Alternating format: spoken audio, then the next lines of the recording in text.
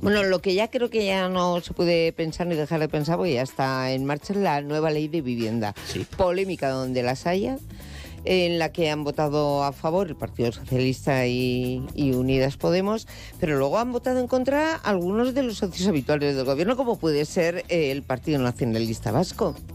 Es que por primera vez en esta legislatura se ha dado una cuestión y es en que el bloque que apoyó a Pedro Sánchez Sí. no ha votado todo junto. No.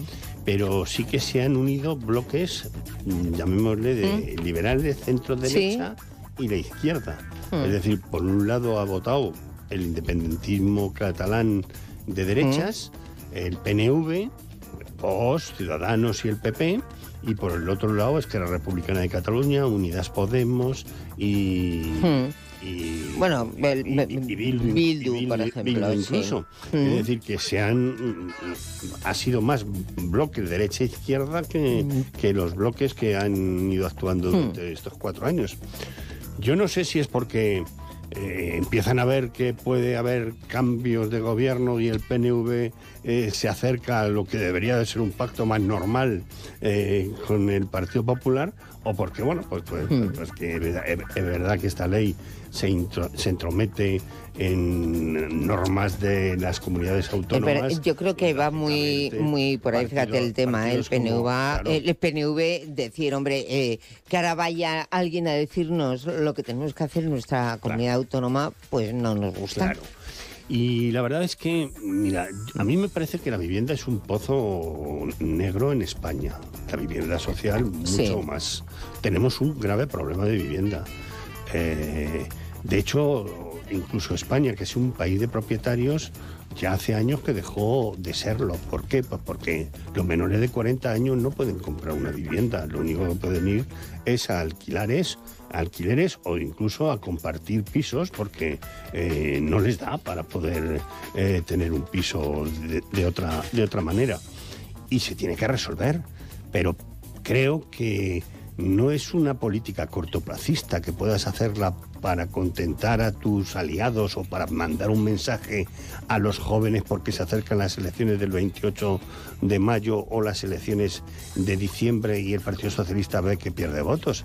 Es una política de Estado y por tanto debería de haberse hablado los dos grandes partidos y después también con las comunidades autónomas, porque en buena medida las competencias sobre vivienda eh, son de las, de las Están comunidades autónomas. claro. Mm, eh, Claro, ahora se habla ahí de que las comunidades autónomas eh, pueden declarar zonas tensionadas para que los grandes tenedores de 10 o de, o de 5 pisos eh, puedan ponerlos a- en el mercado. Pero sin embargo, si las comunidades autónomas se niegan a ponerlo, pues no se, no se aplicará como, como tantas otras cuestiones. Y por lo siguiente, a mí me parece más un mensaje electoralista de Pedro Sánchez que realmente una solución a largo plazo sobre un tema de viviendas, que es verdad que es un problema y que es cierto que deberíamos de construir viviendas. Y después, alrededor de esto, se ha dado una subasta que ha enranecido absolutamente todo, porque es que ha salido Sánchez ofreciendo 100.000 viviendas por un lado, 50.000 por otro, 29.000 por otro, pero que después ¿De dónde na- sale nadie sabe de vivienda? dónde sacan tantas viviendas Claro. y además que que ese número de viviendas no es una cuestión que se pueda hacer de un día para otro, es un plan que se debería de poner cuanto antes en España para construir viviendas sociales para la venta o para Sí. el alquiler pero que desde luego no es una política que se pueda hacer eh, que se pueda hacer en, en un año o Bueno, en pero a lo mejor es que eso lleva un mensaje implícito y es que Pedro Sánchez tiene, eh, en fin, la intención de seguir gobernando muchos años. Bueno, sí, de hecho, Pedro Sánchez, eh, a mí me han contado alguna- algunas personas de su entorno que dice que mm, lo siente por su familia porque va a sufrir mucho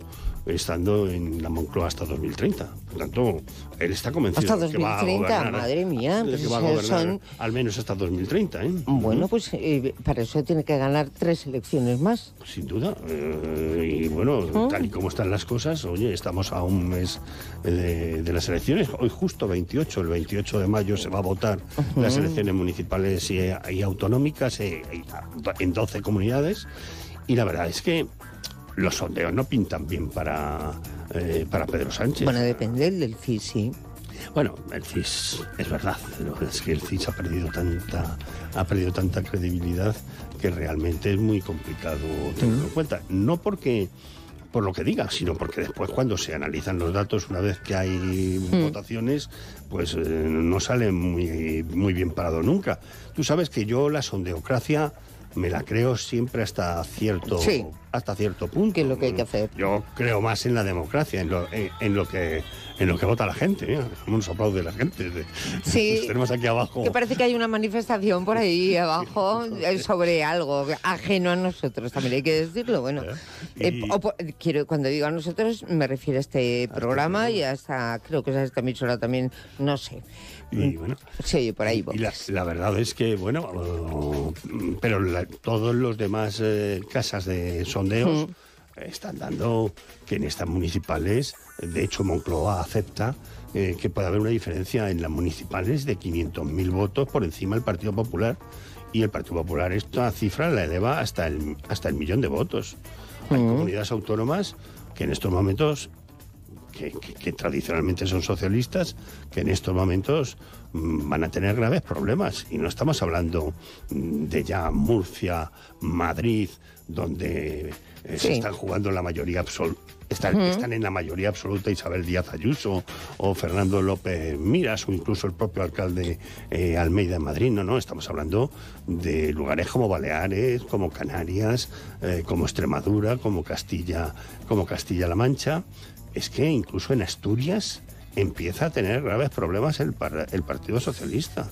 Y bueno, pues evidentemente vamos a ver qué da de sí, porque claro, el mensaje que puede salir de unas elecciones donde se tiñera de azul municipales y autonómicas, donde se tiñera de azul todo el mapa español, sería un mensaje que le complicaría mucho la vida a, Pedro Sánchez para las generales. Bueno, lo que ocurre es que eh, es verdad que de cara a las próximas elecciones de, de mayo, esta plataforma de Yolanda Díaz, Sumar, no, no se presenta, no, no tiene representación, pero luego, oye, eh, de cara a las generales se supone que sí, con lo cual entraría en juego un nuevo factor, una nueva pieza.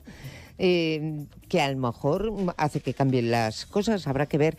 En este caso, ¿tú por quién crees que va a hacer campaña si es que hace Susana Díaz de cara a las municipales y autonómicas. No se presenta, pero ¿a quién va a apoyar? ¿A Más Madrid? ¿Va a apoyar a Unidas Podemos? ¿A quién, claro, es que tiene ¿Quién un crees tú?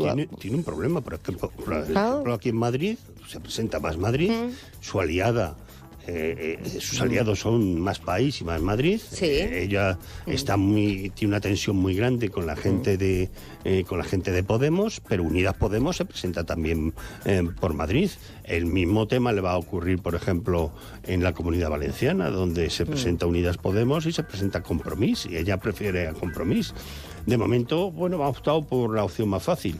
Eh, los comunes ha apoyado a Ada, Colau, que allí no tienen problemas porque se presentan juntos. Claro, pero en eh, Madrid, por ejemplo, ¿a, quién va a apoyar Yolanda Díaz? Si es que a, lo mejor opta por no apoyar a nadie. También puede no aparecer, quiere decir, con un apoyo muy, muy claro a nadie prefiere, en fin, dedicarse a hacer campaña en lugares eh, como en Cataluña, efectivamente, como en Barcelona, donde apoya a Ada Colau, y en Madrid decide hacer mutis por el foro porque lo tiene complicado. Me imagino que estratégicamente eso es lo que pretenderá, es decir, eh, no hacer campaña en los sitios donde se presentan dos candidaturas para después tratar de tejer la unión de esas candidaturas en torno a ella. De todos modos, es que el enfrentamiento en estos momentos de Podemos con, eh, con Yolanda Díaz es eh, a cara de perro, es decir, es un enfrentamiento absoluto.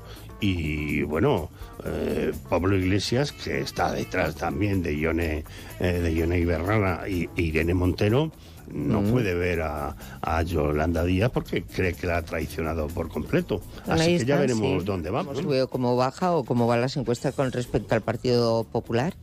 Eh, pero ¿qué ocurre? Bueno, Ciudadanos eh, sigue ahí boqueando para mantener un poquito la respiración asistida, pero no parece que vaya a tener demasiadas opciones de, de cara a la Comunidad de Madrid. A lo mejor el ayuntamiento con Begoña Villacís, que sigue siendo como la aldea gala, ahí están resistiendo. pero luego está efectivamente Vox. ¿Qué va a pasar con Vox? Claro, porque Vox ha tomado decisiones últimamente que, muy raras. que la gente no ha entendido. Mm, porque, muy raras con, con su línea sí, argumental. Lo principal que tiene en estos momentos Vox como el Partido Popular es acabar con el sanchismo y cambiar eh, España. Es que Vox ha tomado um, decisiones, bueno, mira el cartel que acaba, que acaba de colgar. Eh, con una serie de fotografías eh, en contra de la Agencia 2030, colocando justo en el cartel a Feijó y a Isabel Díaz Ayuso. Sí, sí. ¿A qué- y, al, y al alcalde, Claro. el alcalde de Madrid, Claro, son ¿a unas qué? caricaturas. Claro, ¿a qué está? Sí, a es, qué- es gracioso el- a cartel, pero a Pedro claro. Sánchez, Irene etcétera. Mm. ¿A qué juega, a qué juega vos? Porque, Bueno, pues supongo eh, que, eh, que al órdago a todo el mundo. Claro, si, si juega a desgastar a, a quien, a quien puede ser la alternativa a Pedro Sánchez, pues muchos votantes de Vox también se pueden pensar otras cosas. Y hay que tener en cuenta además que Vox no tiene una estructura como la tiene en el Partido Socialista o el Partido Popular en, en municipios. Y por tanto en estas elecciones pues puede, puede pinchar.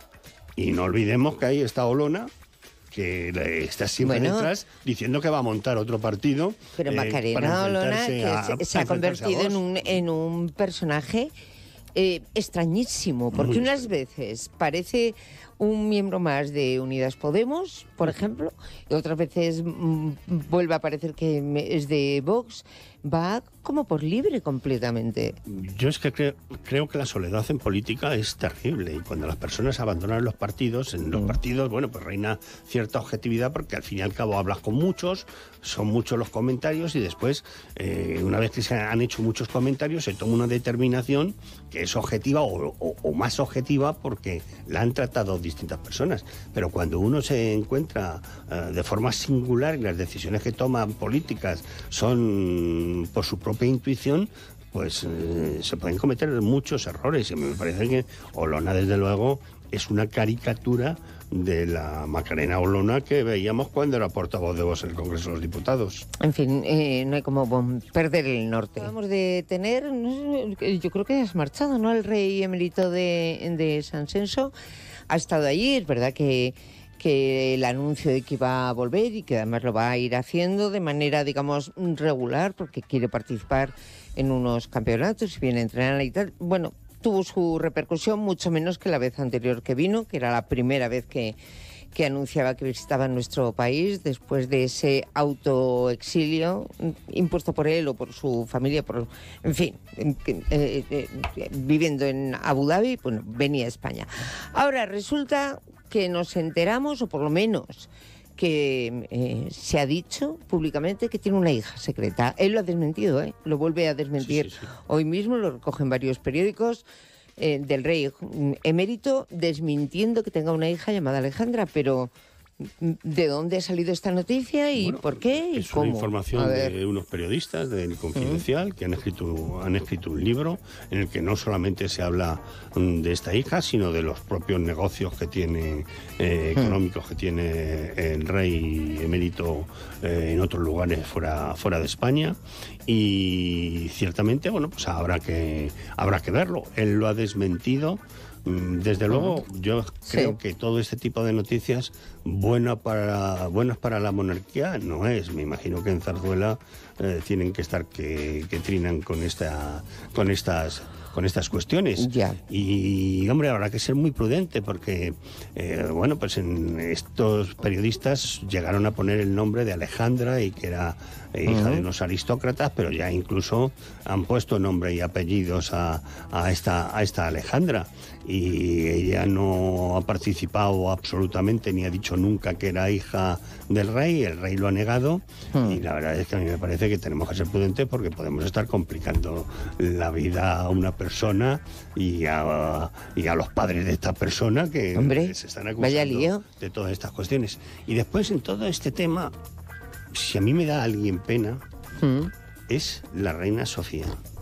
Mira, yo creo que la reina Sofía, esto es una percepción muy personal, ¿eh? yo creo que ya pasa de todo, Sí. pero pasa de todo olímpicamente, mira, mm, en fin. Sí, seguramente. como pero- si sale ahora a relucir. Yo creo que la reina Sofía muy prudentemente se ha retirado, no sabemos eh, prácticamente nada de ella, aparece, sigue con esa discreción que le ha caracterizado toda la vida, con esa elegancia que le ha llevado a no decir nunca una palabra más alta que otra. Y yo creo que está de vuelta de todo. Sí, estoy, estoy Mm, convencido, no sí. puede ser de otra manera. Mm, Pero es que, Mm. fíjate, en No, el los últimos papelón, meses, claro, hombre. el papelón que está teniendo, mm, teniéndose que tragar públicamente eh, nombres de queridas de, que han tenido relaciones con, con su marido cuando ellos eran la pareja real de España. Y claro, eso no es de buen gusto para, para ninguno. Y no es de, de buen gusto ni siquiera para, para, para aquellas personas que, que son monárquicas y que bueno que la reina no, Sofía ha no. sido un símbolo para ellas de, de profesionalidad y, y- y de Y no tiene por qué dejar de serlo, ¿eh? Te Claro, quiero decir claro al está, revés. de- de- pues si ha habido alguien profesional ha sido ella, que supongo que de todo esto, si es cierto, algo sabría. Y así todo se ha mantenido imperturbable, de forma ¿eh? No, profesional. es vamos, decir, eh, a- a- perfecta. el interés de España está Mm. por encima, Por encima de todo. de su interés, Sí, es verdad. de su interés personal y lo sigue, y lo sigue demostrando, porque Claro cuando que ha sí. tenido que acompañar al propio Juan Carlos Ahí estado. con todo esto, ahí está, aunque no le apeteciera, me imagino nada. Bueno, semana interesante como todas. Tenemos otra por delante eh, que nos plantamos ya en, en- en campaña electoral en cuanto nos descuidemos. ¿eh? Estamos en campaña electoral. Bueno, So- solamente tienes Digo, que ver, oficial. solamente tienes Mm. que ver ya los discursos que ha habido esta semana en el Congreso de los Diputados y en el Senado. No han sido discursos ni de Feijóo ni de No. ni de Pedro Sánchez. No. Han sido mítines ya eh, de, de- de campaña. Mm. Tienen que tener cuidado. A mí me parece que las instituciones mm, Sí. tienen que eh, reservar para tratar y con el tono y el fondo que tienen y merecen el respeto de esas instituciones. Hay que tener cuidadito, y los mítines, sí. y los mítines los tienen que hacer eh, para sus Mm. partidos, para sus parroquias y en otros lugares distintos. Hombre, de hecho, el Comité Electoral creo que ya eh, ha lanzado serios avisos a algunos ministros que han utilizado las ruedas de prensa de después de un Consejo de Ministros para hacer mm, campaña electoral. Hombre, no se puede hacer eso. No se pueden utilizar las instituciones públicas, en este caso hablamos también de las eh, autonómicas y de las municipales, no se pueden utilizar para hacer campaña electoral. Juguemos el juego en el campo correspondiente, ¿no? Sin duda, sin duda. Que, Ya, eh, claro. A mí me parece que el respeto Mm. institucional en una democracia es fundamental. Y Pues por sí. tanto, cada Mm. uno tiene que saber dónde está y según dónde esté se tiene que comportar de una manera o de otra. Esto es como en los deportes, no se puede intentar meter un gol subido en el palco Mira, de un estadio, hay mi- que estar en el terreno de juego, pues a, Mi- mira, ello. Mira ayer lo que Mm. pasó en el partido de baloncesto Madrid-Partizan. ¿Qué pasó? Que esto no me he enterado yo. Pues una tangana que se, ¿Ah, pega- sí? se pegaron todos, pero... ¿Pero qué me dices? judo, Uy, qué poco deportivo. Una cosa tremenda, un- todos los jugadores unos contra otros. Descalificaron a todos los jugadores y se tuvo que suspender. Su-